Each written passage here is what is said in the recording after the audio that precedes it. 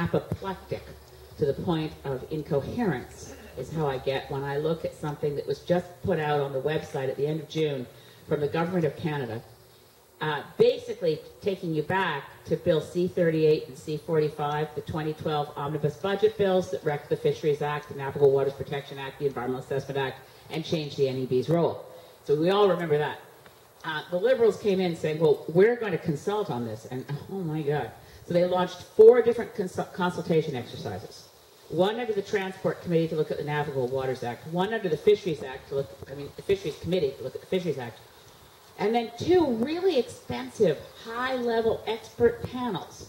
An expert panel that traveled Canada, had thousands of people participating on environmental assessment, chaired by Canada's former Commissioner for Environment and Sustainable Development.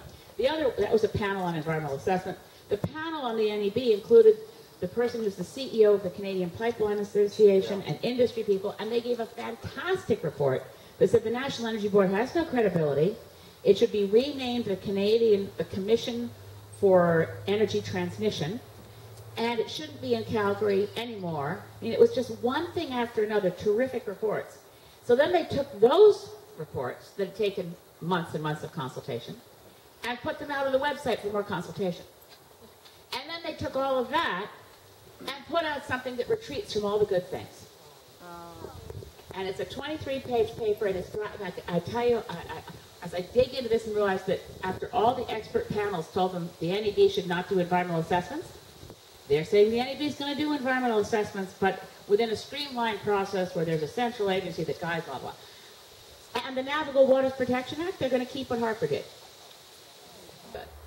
The navigable waters, the NEB, and environmental assessment are going to be frozen in time in Harper era politics. This document was tabled at the end of June, and the deadline for public comment is August 28th.